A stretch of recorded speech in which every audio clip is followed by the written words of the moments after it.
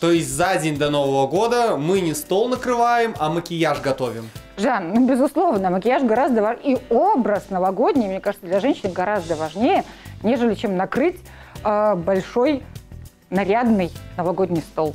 Ну давайте узнавать, что мы сегодня будем делать. Мне кажется, что это очень интересно. Да, интересное, потому что что? Потому что карнавал, потому что что осенью вторая часть Малефисенты вышла, потому что что? Потому что я Малефисента. Здорово. На самом деле, э, очень люблю, когда в новогоднюю ночь проводят карнавальные какие-то вечеринки, да, потому что, мне кажется, это уже создает настроение. Поэтому Малефисента, как одна из моих, наверное, самых любимых героинь, я думаю, что с удовольствием мы сейчас ее воплотим. Если макияж у нас сегодня необычный, то и делать мы, соответственно, будем его нестандартно. Нет, Жан, на самом деле здесь из необычного, наверное, будут только скулы, да? А, ты помнишь образ Малефисенты? Рога. Рога, рога будут, рога это прям да. А, И они будут сделаны не макияжем, как ты понимаешь. Светлая кожа. Светлая кожа, мы сейчас добавим очень активный контуринг, острые скулы, да, и у нее были такие подразмазанные немножко красные губы, то есть это, наверное, все-таки уровень такой ведьмы, поэтому э, не будет все прям сильно гламурно, но постараемся сделать такую малефисенту м, праздничную, скажем так, да, больше не со страстиком, да. Вот, а, поэтому сейчас я начинаю, как всегда, с тона. Это наш холст, на котором мы будем создавать дальше образ. Зрителям может показаться, что это просто темное пятно на щеке. Давай поясним. Нет, ну это не темное пятно, это я сейчас растушевываю. Помнишь, какие скулы были у Малефисенты? Там, конечно, использовался специальный грим. А, Вот здесь были накладки объемные. Мы этого делать не будем, мы просто с помощью светотени создадим иллюзию подобных скул, подобного образа. Это скульптор. Просто с помощью скульптора я усиливаю впадины, и мы сейчас добавим немножечко объема.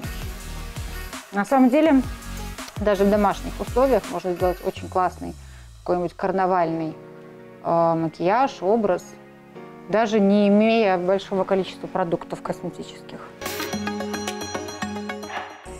Так как образ у нас немножко необычный, да, здесь в любом случае пришлось сделать скулы, такие искусственно, острые скулы. Если вы помните, в Малефисенте у нее как раз-таки была такая форма.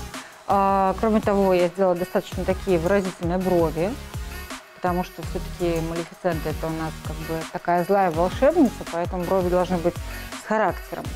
И сейчас мы поработаем с глазами, но э, глаза я поработаю очень быстро, кремовыми тенями и слегка укрою натуральной коричневой тенью для того, чтобы э, глаза выглядели глубокими, такими магическими, но без излишка макияжа. Сейчас мы делаем губы. Я их немного увеличу. И хочу напомнить, что у Малефисенты губы были такие слегка размазанные, как будто испачканные кровью. Поэтому контур мы тоже растушуем. И посмотрим, что у нас получится. Самое главное, конечно же, одеть аксессуар, сделать прическу, чтобы образ сложился воедино. А, макияж глаз у нас достаточно несложный. Немного кремовых теней, а, естественное коричневое затемнение. И мы поставили, конечно же, реснички, для того, чтобы образ выглядел более выразительным. Сейчас закончим губы и начнем собирать наш образ воедино. Ну что ж, у нас здесь финальные штрихи. Вот такая у нас получилась крутая Малефисента. Мне уже очень Сейчас увидим. Пока рога не упали. Интересно, как ты доедешь до корпоратива? Ну как, на троллейбусе, потом на метро, Ну да, я потом думаю, на что- трамвайчике. Наверняка лучше общественным транспортом, Конечно. потому что... Ну, на такси скучно, Ну, пока да. один таксист это увидит, а так вполне. Ну что, смотрим? Поехали. Я не знаю, что сказать. Скажи, нарядили. Авада кедабра. Ну, Оль, я в шоке, честно говоря. Мне рога идут, да. Да. Рога и копыта. Спасибо, Оля, тебе большое. Я думаю, что я сегодня возьму гран-при по костюму. Олесь, я думаю, что все-таки следует ехать на метро, наверное, да? Я пешком пойду.